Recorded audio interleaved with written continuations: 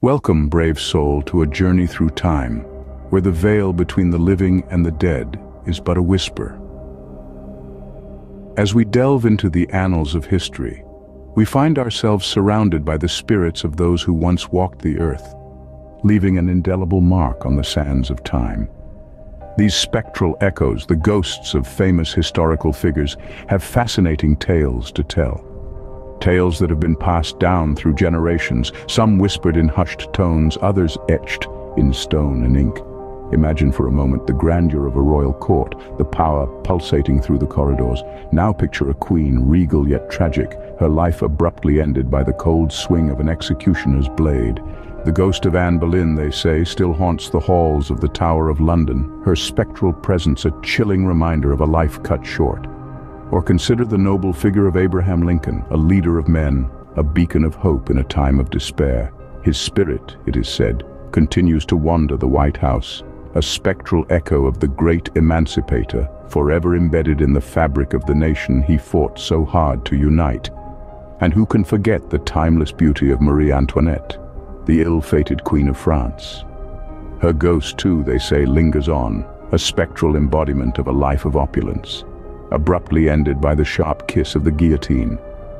These are but a few examples of the apparitions we will explore on our journey, each one a testament to the unresolved issues, the unfinished business that ties these spirits to the mortal world. And as we delve deeper, we will uncover more about these enigmatic shadows of history, their lives, their deaths, and the spectral echoes they have left behind. So, brace yourself, for we are about to embark on an adventure through time and space, where the line between the living and the dead blurs, where the past and the present collide. Prepare yourself for an encounter with the spectral echoes of our past. Our first tale unwinds in the cold stone corridors of the Tower of London, where Anne Boleyn, the ill-fated queen, met her tragic end. Anne Boleyn, a name that echoes through the annals of British history, a queen, a mother, and a woman who met a tragic end. Her tale is one that intertwines love, power, and betrayal, ending with her beheading in the year 1536. A fate she met within the unforgiving walls of the Tower of London. Historical records tell us that Anne was the second wife of King Henry VIII, a man notorious for his many marriages. Anne's charisma and wit had won the king's heart, but their happiness was not to last. As the years passed and Anne failed to produce a male heir, she fell from grace. Accused of adultery and treason, she was condemned to death.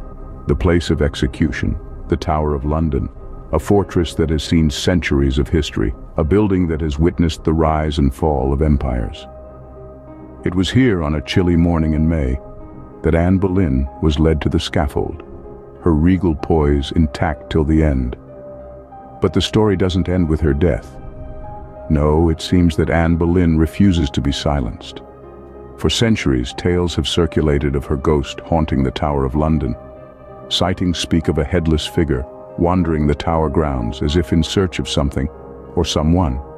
Some whisper that it's her innocence she seeks, lost forever in the ruthless game of thrones. And so, the Tower of London, once her prison, now serves as her eternal stage. A place where her spectral presence lingers, a chilling reminder of her tragic fate. Anne Boleyn, a queen reduced to a ghostly figure, a spectral echo of a life cut short. No matter how many centuries pass, her story continues to captivate us. A tragic queen, a haunting spectre, a figure etched in the stone and shadows of the Tower of London. Even in death, it seems, Anne Boleyn refuses to be forgotten. The tale of Anne Boleyn's ghost is a chilling reminder of her tragic fate. The echoes of her life and death reverberate through time, painting a spectral portrait of a queen who met her end far too soon. Her restless spirit is said to wander the historic halls of England, a headless apparition that embodies the chilling atmosphere of her tragic demise. It is said that on silent nights, her ghost can be seen, forever trapped in the final moments of her life.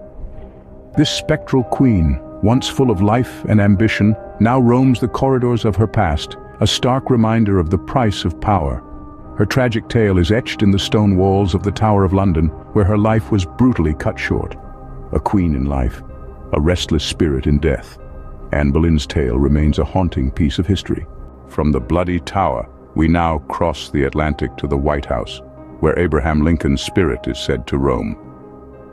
Abraham Lincoln, the 16th President of the United States, is a figure etched in history and memory. His leadership during the Civil War, his fight for the abolition of slavery, and his tragic assassination have cemented his legacy as one of America's greatest leaders. But his story doesn't end there. Lincoln's spirit is said to wander the halls of the White House, the place he once led the nation from. It was April 15, 1865, when Lincoln met his untimely end. He was attending a play at Ford's Theater when he was shot by John Wilkes Booth, a Confederate sympathizer. The wounded president was taken across the road to Petersen House, where he died the following morning. His life was cut short, but his spirit, it seems, was not ready to move on. Over the years, many have claimed to have encountered Lincoln's ghost within the White House. He's been seen peering out of windows, walking down hallways, and even knocking on doors. His apparition is often described as a tall, thin figure clad in his signature stovepipe hat. It's said that he appears most frequently in the Lincoln bedroom, which served as his office during his presidency. Even the most powerful individuals have reported these spectral sightings. First Lady Grace Coolidge, Prime Minister Winston Churchill and President Theodore Roosevelt all claim to have seen Lincoln's ghost during their time in the White House. It seems that Lincoln's spirit is particularly active during times of crisis or war, perhaps a reflection of his own turbulent presidency. But why does Lincoln's ghost linger in the White House? Some speculate it's because of his deep love for the nation and his unfinished work. Others believe it's his way of watching over the country he once led. Whatever the reason, these sightings serve as a chilling reminder of America's past and the enduring legacy of its 16th president. A great leader in life, a spectral presence in death, Abraham Lincoln's spirit seems tied to the place he once led from. Lincoln's ghost story is as compelling as his life, filled with an eerie sense of his unfulfilled destiny. The echoes of this spectral narrative reverberate through the hallowed halls of the White House, where the 16th President of the United States is said to wander, lost in an eternal quest for resolution. Let's revisit the most chilling instances of Lincoln's ghostly appearances. Notable figures, including Queen Wilhelmina of the Netherlands and British Prime Minister Winston Churchill, have reported encounters with the spectral president. The Queen was reportedly awakened by a knock at her door, only to open it and faint at the sight of Lincoln's apparition. Churchill, on the other hand, emerged from his bath to find the ghostly figure leaning against the fireplace, causing him to quip, Good evening, Mr. President. You seem to have me at a disadvantage. The uncanny aura of Lincoln's presence continues to permeate the White House, a lingering reminder of his profound impact on the nation. A leader's duty, it seems, does not end with life. Lincoln's ghost remains a haunting figure in American history. From the White House, we journey to the opulent chambers of Versailles, where Marie Antoinette's spirit is said to linger. Marie Antoinette, the last queen of France before the Revolution, has a story that is as engrossing as it is tragic. Born into Austrian nobility, she was thrust onto the French throne at a tender age, navigating a world of opulence and political intrigue. But as the French Revolution ignited, she found herself at the mercy of a populace desperate for change. In 1793, Marie Antoinette was executed by guillotine at the Place de la Révolution, her life brutally cut short. Yet her story did not end there. Numerous accounts suggest that her spirit has found no rest, that it remains in the place she once called home, the Grand Palace of Versailles. Imagine walking through the ornate halls of Versailles, only to encounter a figure from a bygone era, a figure that seems out of place. Many visitors have reported such an experience, claiming to have seen a woman who bears a striking resemblance to the ill-fated queen, complete with her elaborate 18th century attire. These sightings are often accompanied by a sense of unease, as if the past is reaching out to the present. Historians and paranormal enthusiasts alike have pondered over these accounts. Are they mere figments of an overactive imagination, or is there a grain of truth to them? Could Marie Antoinette's spirit really be haunting the palace, unable to break free from the grip of her tragic past. Psychologists suggest that such experiences may be a result of the brain trying to make sense of unfamiliar surroundings. Yet the consistency of these sightings, their vividness, and the profound impact they leave on those who experience them suggest that something more may be at play. A queen in life, a spectral presence in death, Marie Antoinette's spirit seems tied to the palace she once called home.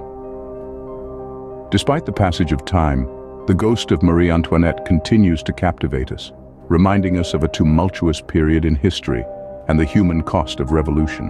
Marie Antoinette's ghost story is a chilling reminder of her tragic end and the turbulent time she lived in. As we delve deeper into the spectral tale, the most spine-tingling aspects emerge, painting a portrait of a spirit unable to find rest. Reports of her apparition are chilling in their consistency. Sightings often describe a woman in royal attire, her face a mask of sorrow and regret. Her presence is accompanied by a bone-chilling cold, a sensation that seems to seep into the very marrow of those who encounter her. There are whispers of an eerie silence that follows her spectral figure, a hush that seems to mute the world. Some have even claimed to hear the faint echo of her voice, a soft whimper that echoes the despair of her final moments. These haunting accounts make it clear. Marie Antoinette's spirit remains trapped in the mortal realm, a spectral reminder of a life cut short and a monarchy unraveled. Even in death, it seems, Marie Antoinette remains a figure of fascination. Our journey through the spectral world of history draws to a close, but the stories we've heard linger in the air. We've wandered through the echoing halls of the past, brushing against the cold, ethereal presence of those who've left their mark on the world. Anne Boleyn, Abraham Lincoln, Marie Antoinette, their names etched into the annals of history, their spirits, it seems, still clinging to the world they once knew. These spectral figures, their stories intertwined with our own, refuse to rest. They are more than mere memories or dusty chapters in a textbook. They are reminders of the unresolved, the unfinished, the unanswered, the trials of Anne Boleyn, the struggles of Abraham Lincoln, the downfall of Marie Antoinette. Each carries a weight that transcends time, their spirits echoing with the unresolved issues of their lives. Consider Anne Boleyn, her spirit reportedly seen wandering the Tower of London, a haunting reminder of her tragic end. Then there's Abraham Lincoln, his phantom said to wander the White House, a testament to his undying dedication to his nation. And let's not forget Marie Antoinette, her ghostly presence felt in the halls of Versailles, a chilling echo of her tumultuous reign. These are not merely ghost stories, but narratives that weave themselves into the very fabric of our history. They serve as a chilling reminder that the past is never truly buried, that history is a living, breathing entity. It whispers to us in the rustle of ancient documents, echoes in the hallowed halls of old buildings, and sometimes it walks among us, refusing to rest. And so, we find ourselves standing at the crossroads of the past and the present, the living and the dead. We've heard the stories, felt the chill, and glimpsed the shadows, but the journey doesn't end here. There are countless more tales to be told, more spectral figures waiting in the wings of history. As we part ways, remember this.